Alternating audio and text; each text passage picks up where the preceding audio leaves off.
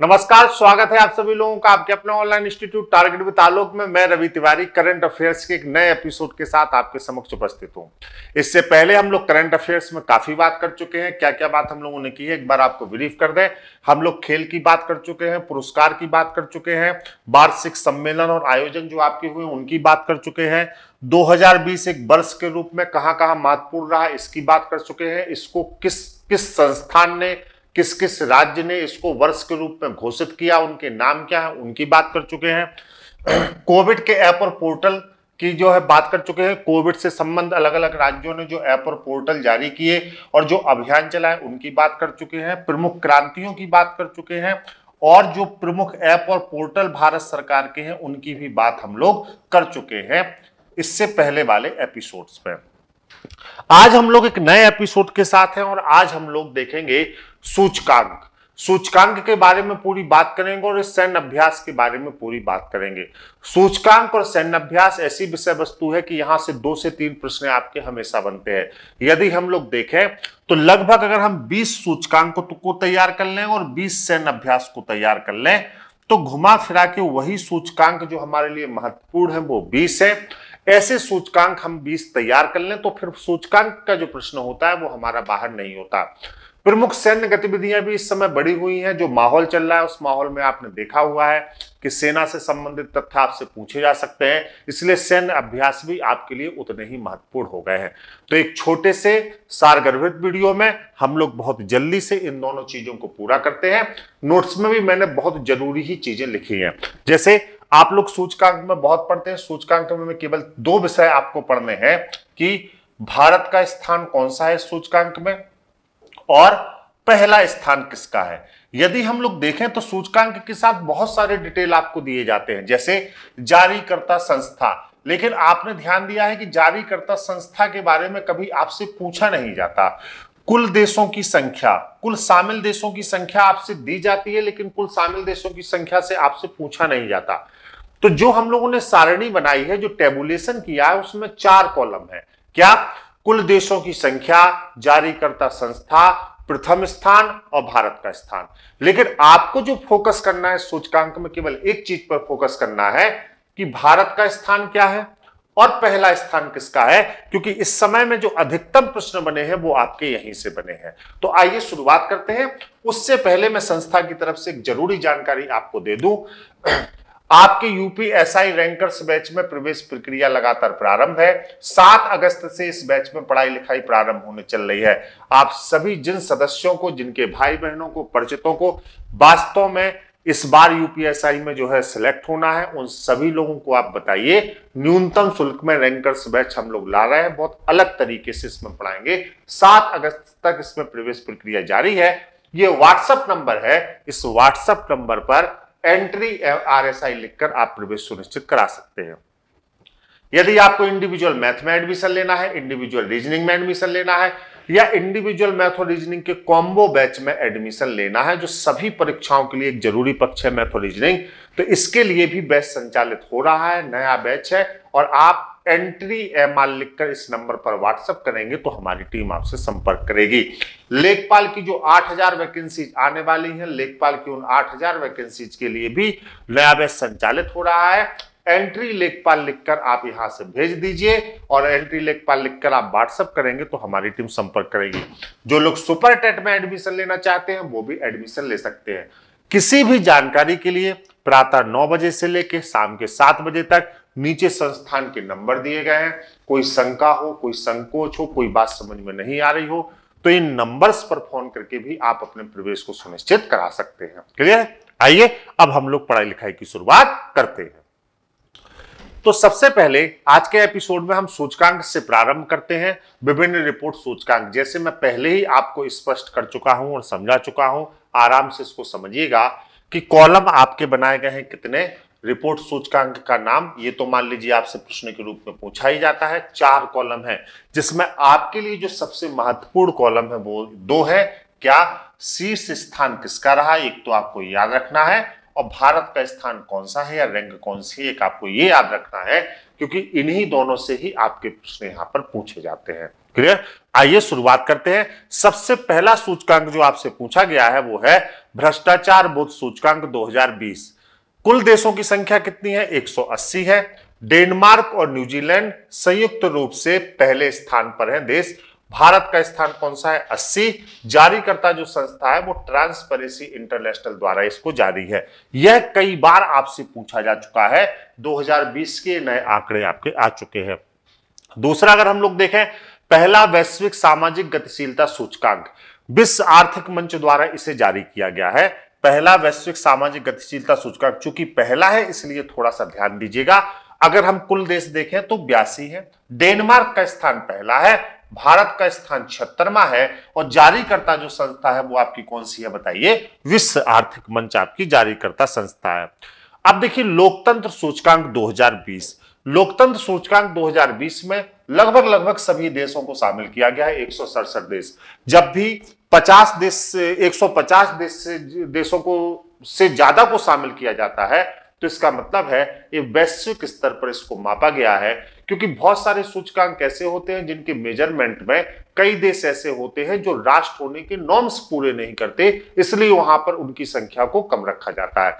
जब कभी संख्या 150 से ज़्यादा हो शामिल देशों की तो इसका मतलब यह है कि वैश्विक रूप से मेज़रमेंट इसका किया गया है नॉर्म्स को लिया गया है। यहाँ पर अगर हम लोग देखें तो लोकतंत्र सूचकांक 2020 में कुल शामिल देशों की संख्या एक सौ सड़सठ है। नॉर्वे का स्थान आपका प्रथम है, भारत का स्थान एक सौ इक्यावन सॉरी भारत का स्थान इक्यावनवा है एक सौ इक्यावन नहीं इक्यावनवा इकोनॉमिस्ट इंटेलिजेंस यूनिट द्वारा इसे जारी किया जाता है। जलवायु परिवर्तन प्रदर्शन सूचकांक 2020 स्वीडन का स्थान यहाँ पर पहला है और भारत का स्थान कौन सा है बताइए? नौवा है। आइए, आगे बढ़ते हैं। वैश्विक ऊर्जा संक्रमण सूचकांक 2020 115 यहाँ पर कुल देश है जो शामिल है। स्वीडन का स्थान पहला है, भारत का स्थान चौहत्तरवा है 74 विश्व आर्थिक मंच द्वारा इसे जारी किया गया है। देखिए, विश्व आर्थिक मंच द्वारा जितने भी जारी किए गए सूचकांक हैं, उनकी एक आप अलग लिस्ट करिएगा, क्योंकि विश्व आर्थिक मंच द्वारा जारी सूचकांक आपसे बहुत पूछे जाते हैं। देखिए, सूचकांक दो तरीके से जारी किए जाते हैं। कई पत्रिकाएँ इंडिविजुअली इनको जारी करती हैं। कई प्राइवेट संस्थाएँ भी इनको जारी करती है, लेकिन विश्व आर्थिक मंच द्वारा जो संस्थान आपके जारी किए जाते हैं सूचकांक, वो आपके लिए ज़रूरी है, क्योंकि वैश्विक स्तर पर इसका एक नॉर्म है और ये जारी किए जाते हैं। तो ध्यान रखिएगा, इनकी लिस्टिंग करिएगा, सबसे ज़्यादा प्रश्न पूछे जाने की गुंजाइश आपकी यहाँ पर होती है। आइए। वैश्विक लैंगिक अंतराल सूचकांक, एक यहाँ पर मैंने विश्व आर्थिक मंच द्वारा जितने भी सूचकांक जारी किए जाते हैं, उनको सबको इकट्ठा किया हुआ है। एक सौ तिरपन कुल देश थे। आइसलैंड का स्थान पहला है, भारत का स्थान एक है। और इसको जारी करता संस्था कौन सा है बताइए? विश्व आर्थिक मंच है आपका। आइए आगे बढ़ते हैं। विश्व खुशहाली रिपोर्ट। लगातार फिनलैंड। इस सूचकांक में कई वर्षों से पहले स्थान पर है खुशहाली की रिपोर्ट में। विश्व खुशहाली रिपोर्ट 2020 के आंकड़े अभी कुछ ही दिन पहले जारी किए गए। एक देशों को शामिल किया गया। फिनलैंड लगातार फिर से मुस्कुरा रहा है। खुश है। भारत 144वें नंबर पर खुशहाल है, मुस्कुरा रहा है। संयुक्त राष्ट्र सतत विकास समाधान द्वारा इसे जारी किया जाता है। आइए आगे बढ़ते हैं। विश्व प्रेस स्वतंत्रता सूचकांक एक हाँ विश्व प्रेस स्वतंत्रता सूचकांक मोस्ट इंपोर्टेंट है। कई बार आपसे पूछा जा चुका है, ध्यान दीजिएगा। कुल देशों की संख्या 180 है। पहला स्थान नॉर्वे का है। भारत का स्थान एक सौ है। रिपोर्ट्स विदाउट बॉर्डर्स फ्रांस की संस्था द्वारा इसे जारी किया जाता है। Ease of doing business 2020 New Zealand का स्थान पहला है, भारत का स्थान तिरसठवा है और वर्ल्ड बैंक द्वारा इसे जारी किया जाता है। ज़रूर याद रखिएगा, ध्यान रखिएगा। फिर देखें, ग्लोबल जेंडर रिपोर्ट इंडेक्स 2020 है ना? आइसलैंड का स्थान पहला है 112वां स्थान भारत का है और विश्व आर्थिक मंच संस्था द्वारा इसे भी जारी किया जाता है इसको भी आपको याद रखना है। चलिए इसके बाद हम लोग आगे बढ़े। वैश्विक प्रति, प्रतिभा प्रतिस्पर्धा 2020 स्विट्जरलैंड का स्थान पहला है बहत्तरवा स्थान देखिए इसमें भारत का है। वैश्विक प्रतिभा प्रतिस्पर्धा 2020 स्विट्जरलैंड का स्थान फिर भारत का स्थान बहत्तरवा इंसीड द्वारा इसे जारी किया जाता है। सोशल मोबिलिटी इंडेक्स एक बार पूछा भी जा चुका है आपसे। पहले स्थान पर डेनमार्क है छिहत्तरवा स्थान इसमें भारत का है और इसको भी विश्व आर्थिक मंच द्वारा जारी किया जाता है। अगर हम लोगों ने जो 20 सूचकांक यहाँ पर लिखे हैं, उसमें से देखा जाए तो आठ से नौ सूचकांक ऐसे हैं जो विश्व आर्थिक मंच द्वारा जारी हैं। उनकी एक लिस्टिंग करके उनको आपको ज़रूर पढ़ना है। आगे बढ़ते हैं हम लोग। हाँ यहाँ पर किड्स राइट्स इंडेक्स लिखा है, आइसलैंड पहले स्थान पर है, एक स्थान भारत का है और किड्स राइट्स फाउंडेशन द्वारा इसे जारी किया जाता है। वैश्विक आतंकवाद सूचकांक में सबसे ज़्यादा प्रभावित देश अफ़गानिस्तान है। भारत सातवें नंबर पर प्रभावित है। Institute for economic and peace द्वारा इसे जारी किया जाता है।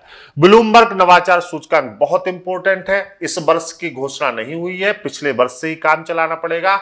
साठ कुल देश है। दक्षिण कोरिया का स्थान पहला है। भारत का स्थान चौवनवा है। बोस्टन कंसल्टिंग ग्रुप द्वारा इसे जारी किया जाता है। क्लियर? अंतरराष्ट्रीय बौद्धिक संपदा सूचकांक 2019 इंपोर्टेंट है, पूछा जाता है। कुल देश 50 है, अमेरिका। अमेरिका द्वारा इसे जारी किया जाता अमेरिका का पहला स्थान है, भारत का स्थान छत्तीसवा है। वैश्विक बौद्धिक संपदा केंद्र द्वारा इसे जारी किया जाता है ना? वैश्विक नवाचार सूचकांक, एक बार हम लोग इसको अभी देख चुके हैं। वैश्विक नवाचार सूचकांक 2019 129 कुल देश है, स्विट्जरलैंड का स्थान पहला है और भारत का स्थान बावनवा है। इंस्टीट द्वारा इसे जारी किया जाता है। और शांति से खत्म करते हैं। वैश्विक शांति सूचकांक 2019 एक कुल देश शामिल हुए। आइसलैंड सबसे ज़्यादा शांत है। भारत 141वें नंबर पर शांत है। Institute for economics and peace द्वारा इसे जारी किया जाता है। तो ये तो बात थी महत्वपूर्ण सूचकांकों की। इसके बाद अब सैन्य अभ्यासों की ओर हम लोग बढ़ चलते हैं। आइए बात करते हैं सैन्य अभ्यास के बारे में। देखिए, सैन्य अभ्यास में आपसे पूछा क्या जाता है? पहले तो आप ये समझ लीजिए। सैन्य अभ्यास में आपसे पूछा जाता है कि किन किन देशों के मध्य हुआ।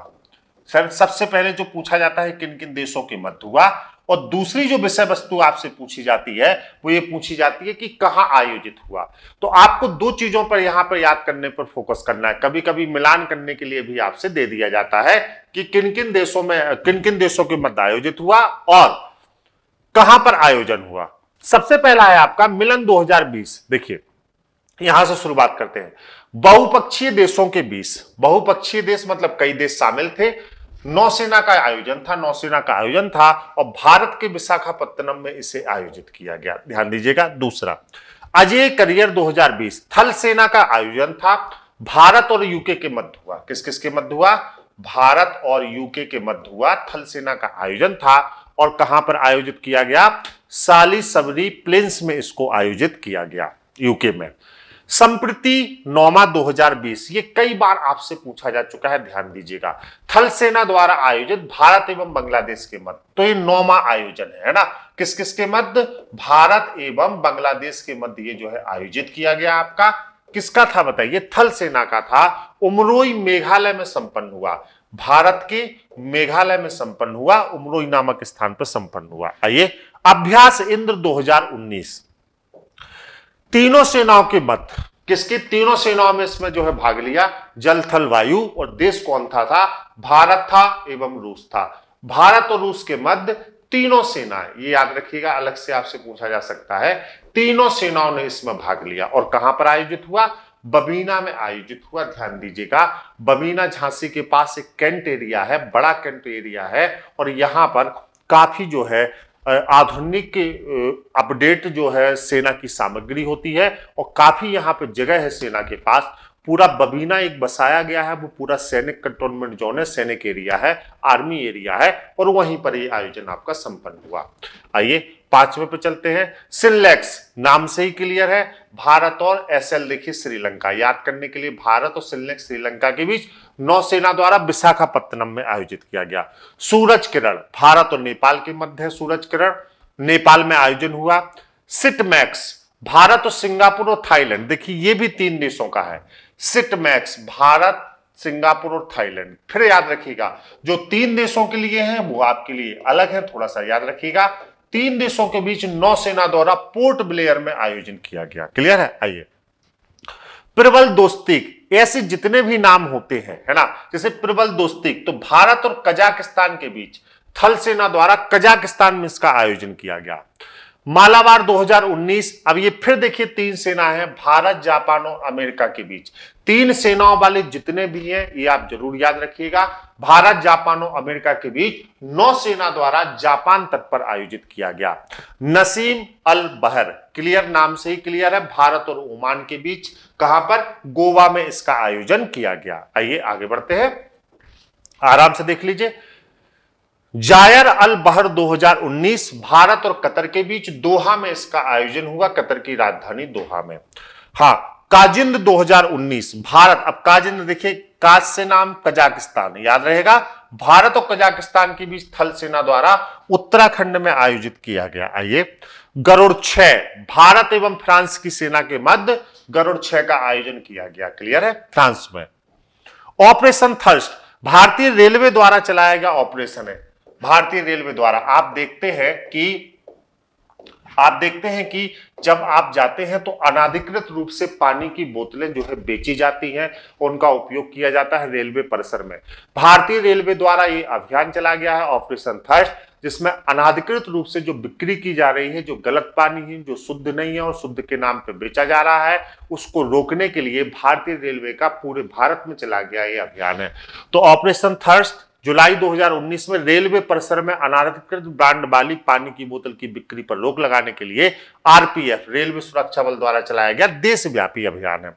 ऑपरेशन संकल्प, भारतीय नौसेना द्वारा फारस की खाड़ी और ओमान की खाड़ी में। ध्यान दीजिएगा, फारस की खाड़ी और ओमान की खाड़ी में इस क्षेत्र से गुजरने वाले भारतीय ध्वजवाहक जहाजों की सुरक्षा के लिए चलाया गया। दिक्कत होती थी तो ऑपरेशन संकल्प चलाया गया।